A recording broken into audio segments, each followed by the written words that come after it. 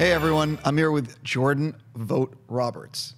Did I do that right? That's me. Yeah, look at that. Um, English is my second language. You know this. I've been learning this slowly and surely. I'm totally messing around. Dude, I'm still struggling with English. dude I am so happy uh, you came in today. I haven't seen you since we did a screening of Kong Skull Island. It's been a minute. Exactly. Um, you have been uh, busy since before that screening and until now working on this thing called Metal Gear. I have. I uh, well, this thing has been consuming my brain since I was a child, but um, I've been actually working on it actively at trying to make it a movie for the last five years. I was going to say it's been like multi years. It's not one of these overnight like you just got on it six months ago. No, this was something that I fought for way back in the day. After Kings of Summer, I saw a Metal Gear book on an executive's table, and I said, I want to do that. And they said, There's no way you can do that. And then I made it my mission to sort of prove to them how deeply uh, knowledgeable my dumb brain is about all things Metal Gear and how to try and translate all things Metal Gear into sort of the perfect movie. Well, that, that's something I want to get into. We we're going to discuss you. You have a whole bunch of uh, uh, concept art, which we're going to jump into. But I think a lot of people are wondering the the video game movie tran- the video games transitioning into movies has been a problem, and it has not. There hasn't been that. Maybe there. Ha- ha- do you think there's been a home run yet? Well, the three examples that I always give that I think are home runs are actually not based on video games, but they I think they're video game movies, and that's I think Kubo is basically a video game movie. It it, it, follows the mechanics of Zelda and quests and and armor upgrades and bosses much in the same way a Zelda game does. Um, Snowpiercer, I think fundamentally taps into the mechanics of a left to right side scroller. Everything is going left to right the entire movie. Every train car represents a new level, a new stage. Um, and then Edge of Tomorrow, I think taps into the the sort of meta mechanics of video games, the way that you respawn, the way you go back to a checkpoint. And so I think there have been three seminal films that in a more meta way tap into sort of what you feel when you play a game they just don't happen to be based on video games Sure, uh, but you agree that thus far something that's called, Yes. you know, like Th- There, there have been a couple. I I actually think the Silent Hill movie has like some pretty cool stuff in it. There, there are a couple movies that have like decent moments, but yeah, nothing, nothing has really, I think, hit on that initial like Blade or X Men level, and certainly nothing has hit on that sort of like Dark Knight level. Completely. Um, one of the things about Metal Gear, and uh, there, it's basically like, like a lot of the game is you're, you're, it's stealth. It's you know trying to do stuff without getting noticed.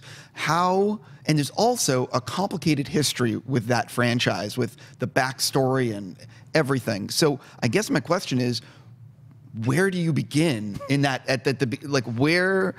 It's so daunting. Uh, that's a question that I've been thinking about since I was a kid. And yeah, it is famously the thing about Metal Gear is it it's intentionally sprawling and it's intentionally dense and it'd be super easy to just take one sliver of it or try and do too much at once. And you know, we've spent the last little bit really trying to figure out to me the most um, uh, Kojima-san inspired way to tackle as much of that uh, story in a w- in it with through a device that I think allows you to tap in. Um, and how to put this? How to put this without spoiling it? Right. I- I definitely don't wanna get you in yeah, trouble. because there's a lot that I can't say. But regardless, we have a device that I think allows us to um, respect the breadth of the franchise, respect the sprawling nature of the franchise, respect the somewhat convoluted nature of the franchise at times, but then to still show you the mirrors. And what I mean by that is like all of those timelines fundamentally exist because they they show the repetition of war throughout time. They show the repetition and the cycle of pain throughout time. And so it it's almost impossible just to tell one story now because you need the the, the full through line of what this game is about. And there's a there's a pacifism, there's a there's a tortured nature to all of these characters. And so you need to figure out how you give it enough context without completely overwhelming an audience with like, oh my god, that's too many things.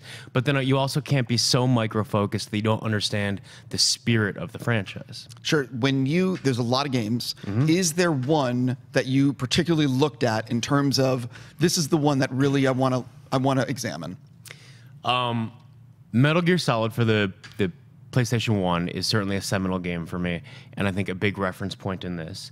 I also think that there are elements of Snake Eater, which is Metal Gear Solid 3, uh, that takes place back in the 60s, that is a huge reference point. But also, I think some of the things that people might not think about is we're actually going back to the original Metal Gear and um, the sequel to that. You know, those were sort of MSX games that aren't polygonal, that aren't 3D. You know, so it's easy for a lot of people to miss those games. But some of the plotting and the mechanics and the um, the dynamics in those games are actually very fundamentally important to um, our approach.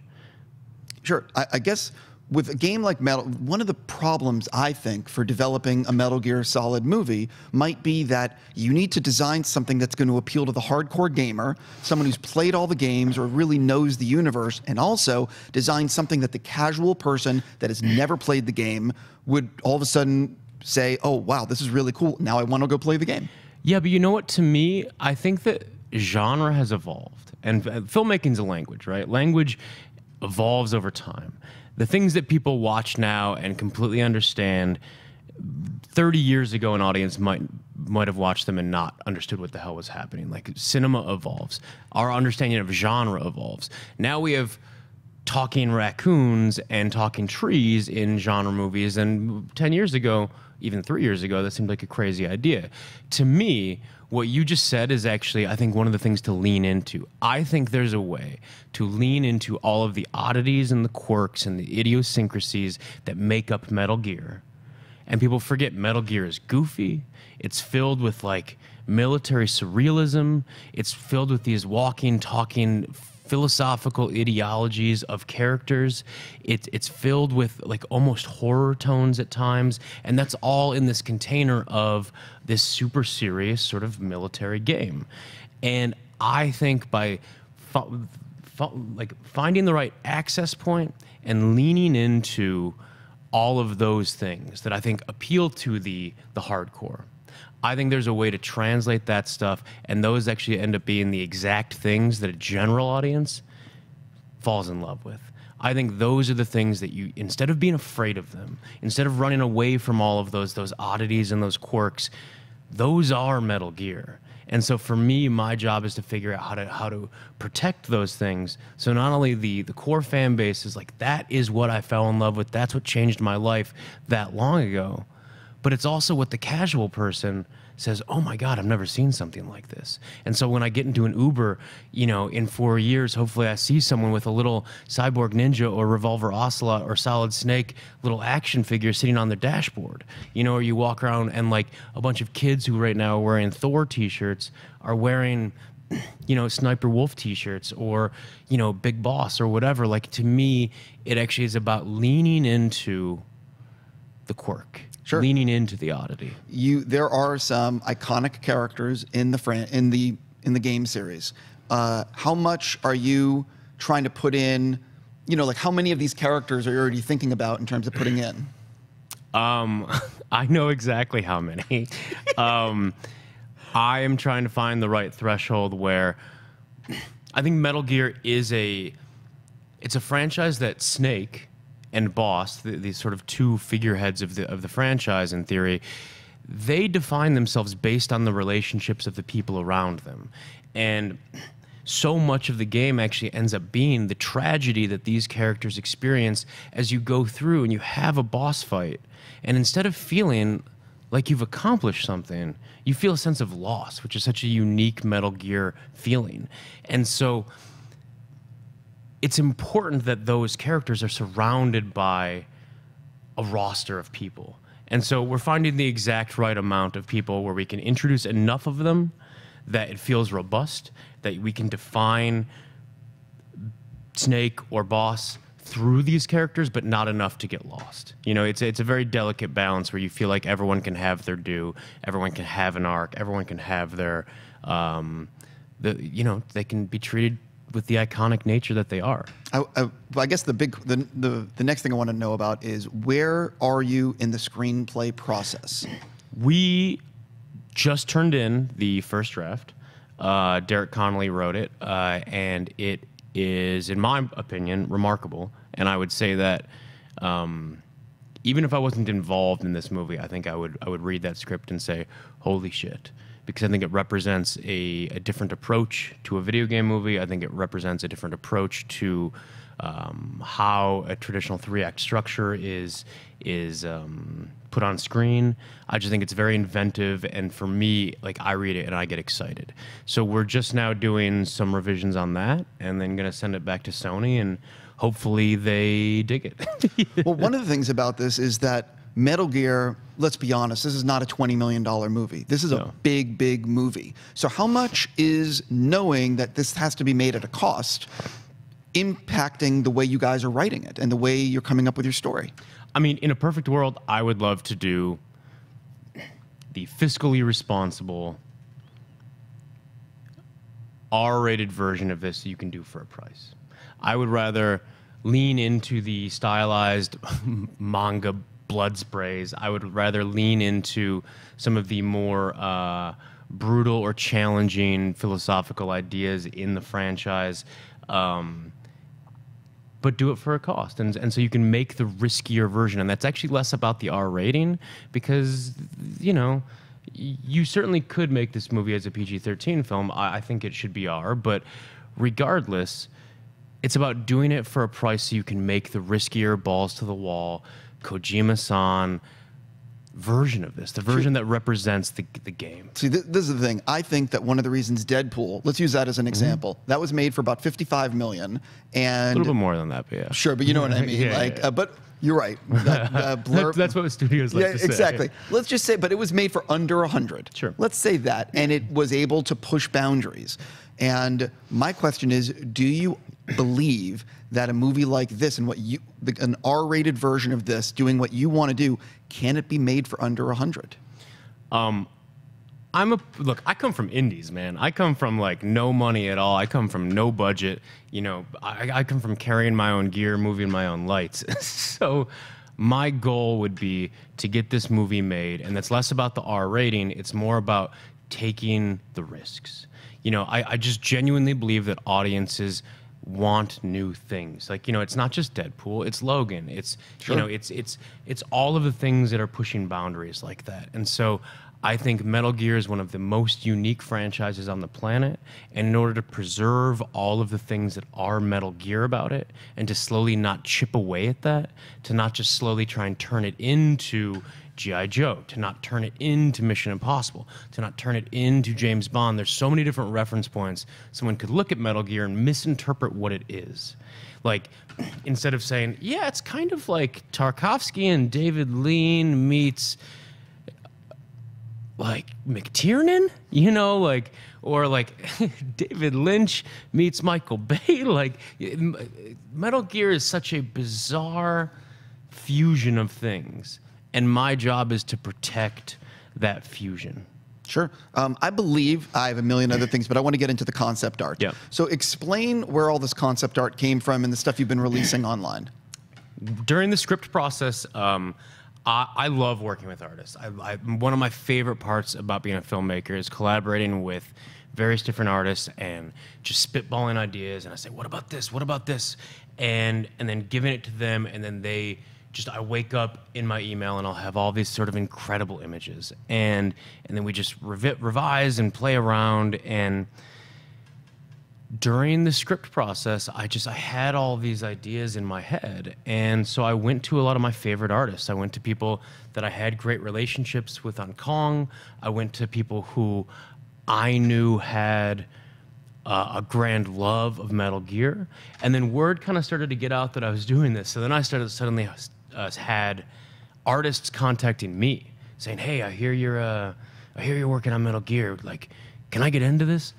And it just became this labor of love. And for me it's it's a process where a i just kind of need to like have a creative outlet to to mess around with some of this stuff. B uh for me, you actually end up working things out in a script sometimes visually because you're playing with these ideas and you're like, oh, actually, this can work, or oh, we should try and work some of this in. So some of it certainly is things that are representative in the film. Some of it is just pure exploration. Some of it's just pure love, wanting to see these things mashed up together.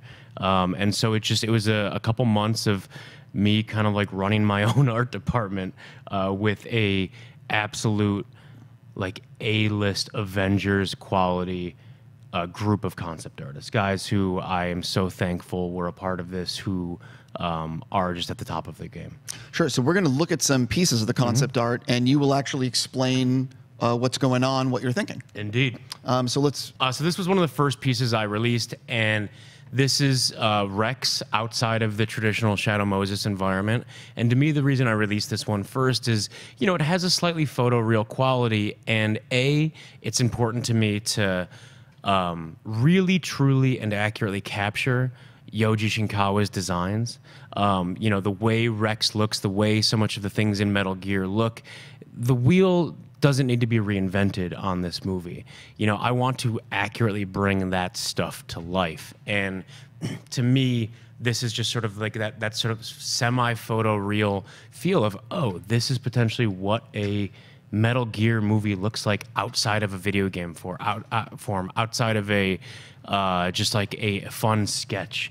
You know, it just ha- it just had the weight and the mood of standing on this this airstrip, and instead of there being an airplane, instead of there being a tanks, there's Rex. There's this walking bipedal tank. Sure. What's the next one?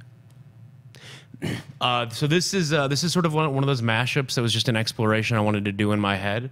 Um, this is uh, Cyborg Ninja, Gray Fox going against a Gekko, and in the games, uh, those two things never actually face off. Those take place in different eras, and to me, part of it is you know if we are remixing things, if we are sort of reimagining things, but trying to also be very true to what's going on, I just wanted to see that. What does that look like next to each other? To me, Cyborg Ninja is one of the most iconic characters in uh, gaming to me. Like when that character shows up when I played it as a child, it blew my mind. You know, and that to me is one of the most beautiful things about Metal Gear is you're in this very weighty world, right?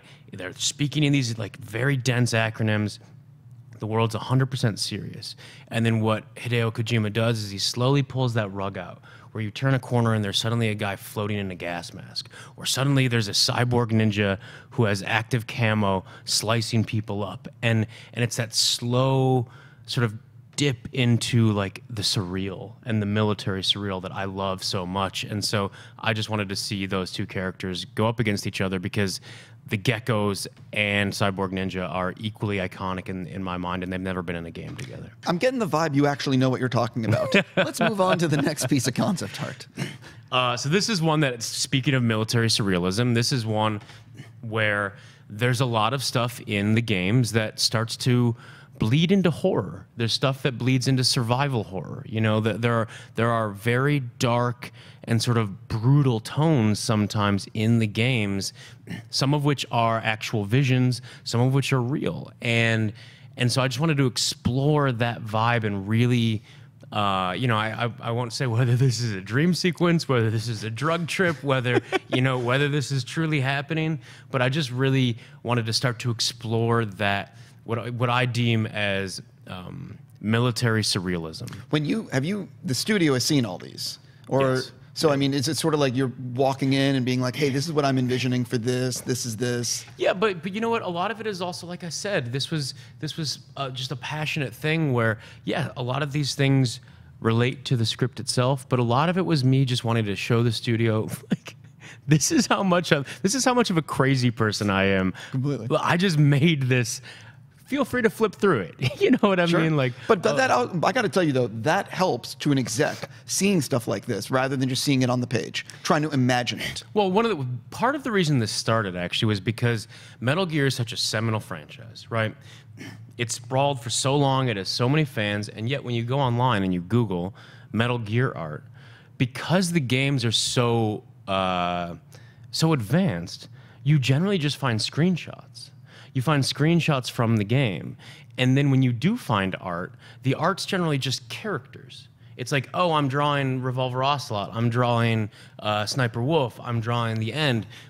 It ends up being these these character uh, portraits, and surprisingly, there was very few pieces of like keyframe concept art online that felt cinematic. And so part of this was me going out of my way to sort of say, well, I'm going to make these keyframes and this concept art because it's almost not there. And so I didn't want an executive having to go and look at cutscenes from the game. I didn't want an executive having to go and just look at screenshots from the game. I wanted to say, here's your movie. No, completely. It's on these pages. Completely. Let's look at the next uh, piece.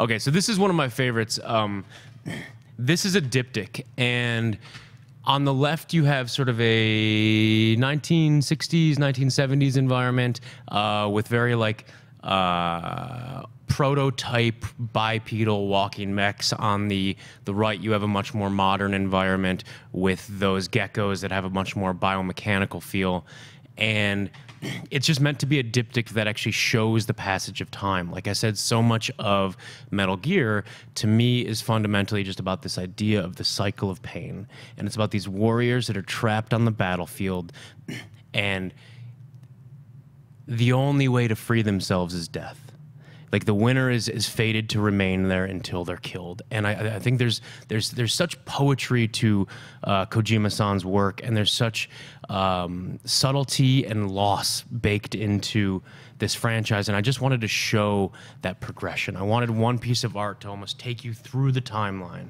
and see how nothing's changed. Sure. What's the next piece? Uh, this is uh, by Jakub Rosalski, who's actually in the studio right now. Um, this is one of my. Uh, we work together on Kong, and he draws these incredible. He paints these incredible portraits of just people in their environments with like mechs and monsters looming in the background. And I, have I've been obsessed with his work for so long, and um, and I reached out to him to, for Kong, and we, we collaborated on that.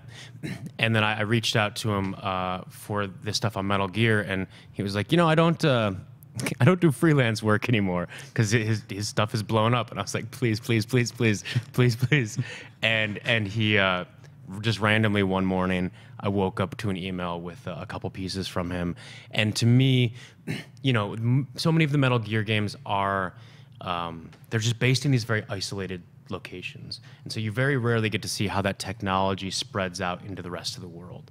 And so a big part of that was a seeing it just you know as these farmers are just going about their day as as there's a mech in the background but there's also that that odd mix of beauty and danger at the same time and he's just one of the only people who can capture that uh, let's look at the next one so this is um, one of the more iconic scenes in the franchise in my mind, um, and one of the ones that most represents, I think, how the boss battles work. This is the death of Sniper Wolf, and to call it melancholy or morose, um, I think might be an understatement. It's it's a battle that I think for many gamers, when you experienced it, it's one of the first times that you beat a boss, which should be a triumphant moment and instead you feel sadness. You feel like you're trapped. You're just as trapped as she is, and yet somehow she's free, and you have to go about your mission now. And um, to me, there's just there's just a haunting nature to that. Um, I really it's really important for me in the movie to capture that sense of loss and that, that sense of sort of tragedy and the fact that like even when you're winning you're losing. Completely.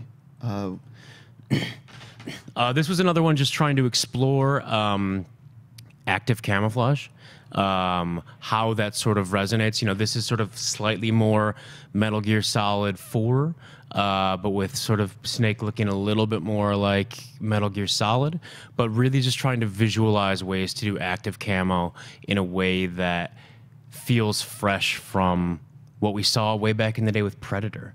You know, like that that that invisibility cloaking effect has not really shifted that much in almost 30 years. And so it was just really trying to dig into what what materials, what textures, how does that blend into a wall, and how do you show it in a way that's just not sci-fi, and you disappear.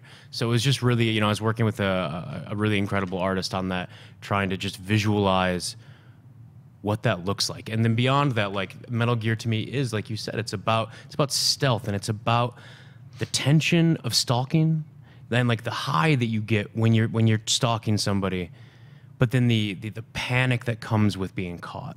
And so that that's an image to me that just there's a badassery associated with the fact that these guys have just passed, but that can change on a dime in the Metal Gear world. Completely. I think we only have a few more minutes, so let's. Uh, um, Yeah, yeah. Uh, I can just power through some. This is um, uh, just a recreation of the iconic uh, hallway scene with Cyborg Ninja, which is one of my favorite scenes in the franchise. Uh, and I just wanted to see a proper piece of concept art on it. Uh, this also is just sort of a, an early um, exploration of what the Gekkos look like sort of in the outside environment. This is much more sort of Metal Gear Solid 4. Once again, people should not read into the casting based on uh, the likeness in this image. Um, but this is just sort of showing war. And to me, just seeing Snake sitting there being like, do I really have to deal with this? Um, so this is this is also leaning into some of the more um, surreal horror elements. You know, Cyborg Ninja very famously is sort of trapped and uh, and just tortured and can't free himself, and he's waiting for someone to let like to, to free him.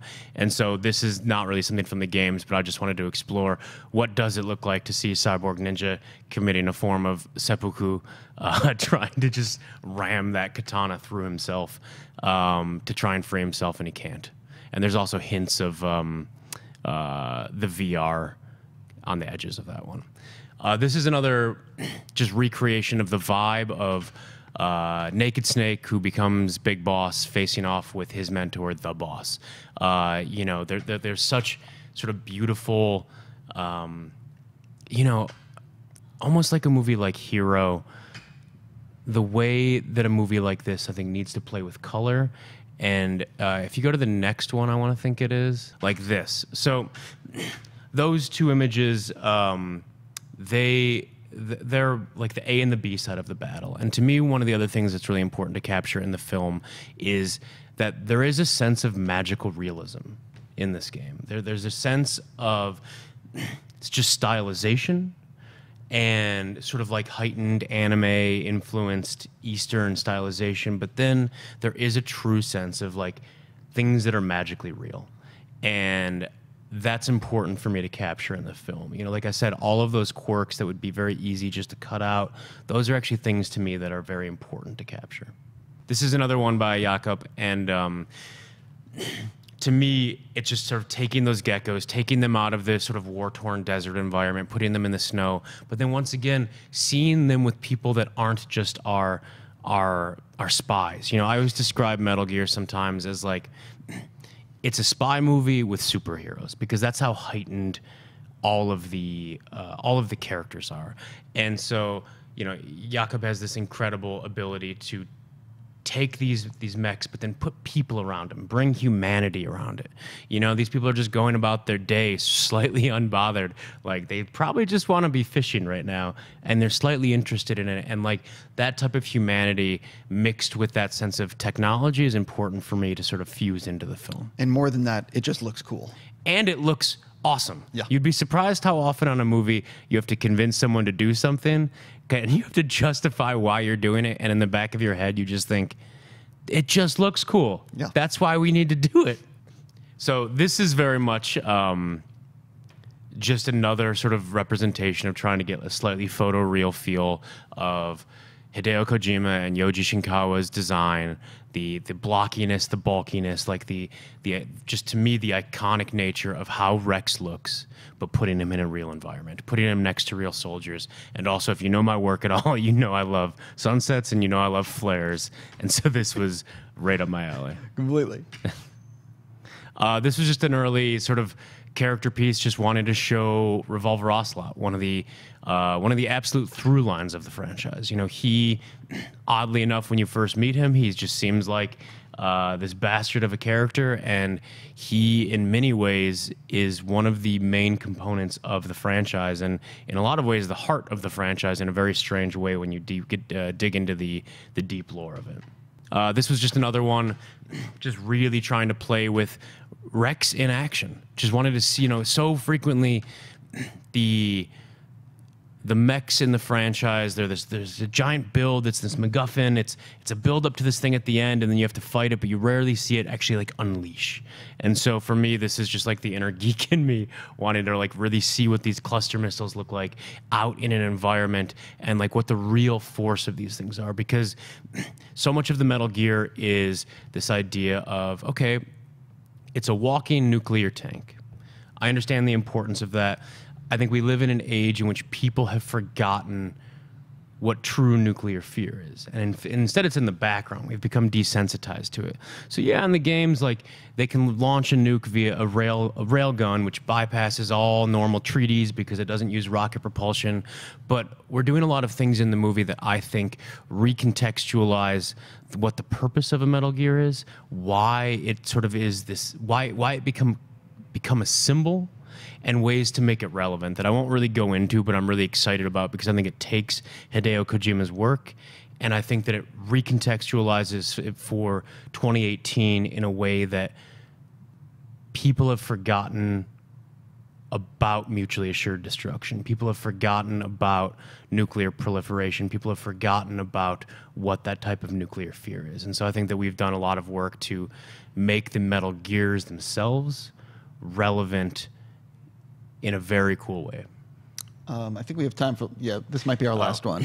This to me, I mean, like I said, there is not a scene in cinema to this day that I think captures the badassery of Cyborg Ninja. Nor is there a scene in cinema that, that captures the kinetic nature of Raiden fighting the Gekkos in Metal Gear Solid 4. And I just wanted to see that classic Rocky standoff of Snake and Ninja just before they fight. To me, this really was going to this artist Ben Morrow and saying, "I want Rocky." Like you know, he initially he had them much further away, and I was like, "Put them closer, put them closer." Like I want them inches from each other's face, just squaring each other up. And will the scene be in the rain? What? Possibly. right. I'm just, I think I see some raindrops falling. There's definitely some raindrops there. You know, um, hey, listen, uh, uh, we're basically out of time in the studio, and so I just want to say sincerely, um, I really hope you get to make this. Like, as a fan of yours, as a fan of the material, I think this is. It's just something really cool, and I think it could translate really well to the big screen. Uh, thank you. I appreciate that. Um, I wouldn't be fighting for this if I didn't genuinely believe.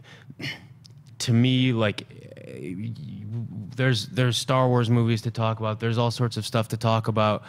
To me, this is that. This is this is a new frontier. Not only I think for for me as a filmmaker, but I just feel like for audiences. And to me, I think it, it's a way to make the first great, great video game movie that it doesn't even matter that it's based on a video game. It's filled with seminal characters, seminal moments. It's it, like the, the world has meaning and all of these quirks and oddities that we've been talking about. I just don't think people have seen on screen in that way, and that's right up my alley in terms of tone and style. And uh, and it's just it's been my baby forever, and so that's why I started making this art and collaborating with such an incredible group of people. Um, and I just believe in it. Like I believe that audiences are ready for something that is this smart and this entertaining and this badass, and you know, it's it it consumes me. Well, the other thing is that there's no movie like this. There's no like it's just a like people want to go to the movies to see stuff they can't see on TV, and you're trying to create something that is obviously never been done. It's not even just the things they can't see on TV. I just like the reason that we got in to movies is we were transported, we were taken, we were constantly shown new characters and new situations and new settings. And I think that's harder and harder for audiences to have. And I don't just think that's a byproduct of like, oh, films aren't as good. It's just with the internet, with everything, so much more is accessible to us. And so we have to work that much harder to make film that touches people in the same way that you and I, as kids, we're like blown away by it. And to me, Metal Gear Solid is that, and Hideo Kojima's world is that. And so, hell or high water, I will be fighting for this thing the rest of my life to not only shepherd the best version of it on screen, but because I just genuinely believe it's a world that people are ready to see, and that by leaning into all of the crazy things that people may say, whoa, you can't adapt a Metal Gear movie because of this, this, this, and this. I actually believe that that, that, that, and that are exactly how Yeah. you make the rest of the world fall in love with it. Completely. Jordan, I'm so thankful you came in. I really hope that we are doing another talk, uh, um, you know, when the movie is going. Uh, hey, listen, thank you so much. Thank you, man. Thank you for having me.